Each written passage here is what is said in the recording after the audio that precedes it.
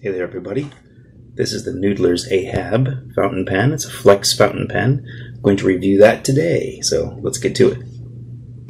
I got this pen a couple years ago at a brick and mortar store called Paper and Ink Arts, and it's in Nashville, Tennessee.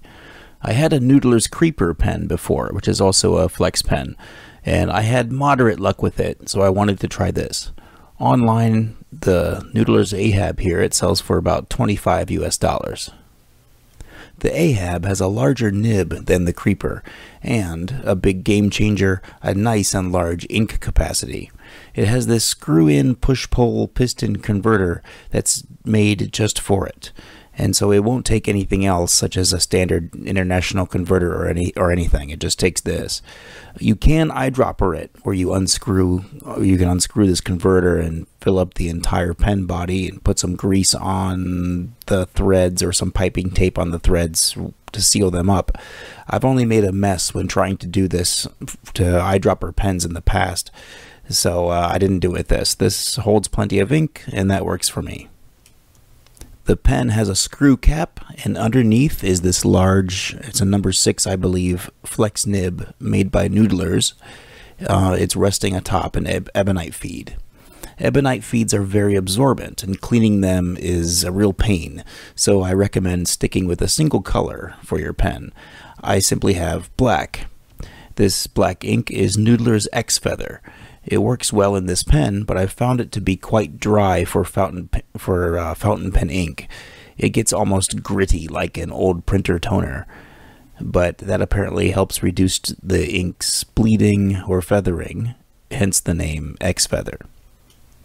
Most flex pens have at least some issue with railroading, where the ink can't handle the spreading of the tines and the feed can't keep up. The Ahab is no exception, however, Noodlers recommends playing around with it. In their instructions, you are encouraged to remove the nib and feed out of the pen and then realign them through trial and error. It's even said to put a piece of tape on the on the feed slit here to help. I like that Noodlers embraces their inexpensive tinker with it status instead of pretending that it's going to write perfectly out of the box. After my own trial and error, I aligned the my nib and feed to sit just like this, and now it writes with good flex and keeps up very well. You can write very quickly, but the pen does railroad when it flexes at quick speed. So if you want copperplate or any flourishing or varying or uh, anything with varying line weights, basically, if you want it to flex, Easy does it. And so that way the ink will keep up. It does it a lot better than some other flex pens that I've tried or seen. Right now, I'm trying to get better at copperplate, so that's why I picked up this pen to use again.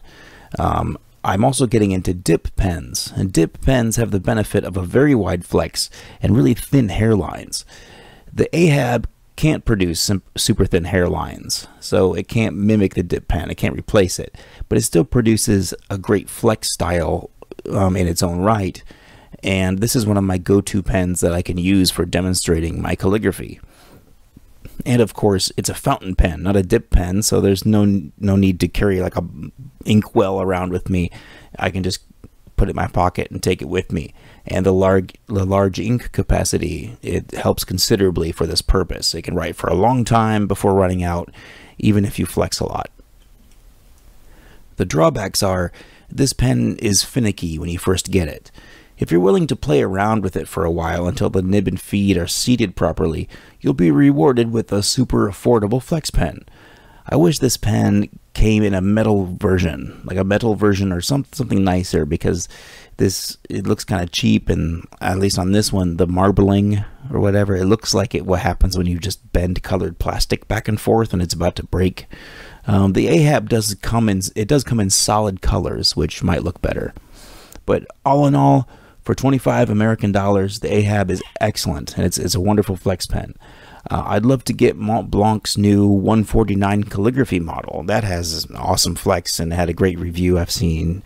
But until that day, here's to the very affordable, very useful Noodler's Ahab.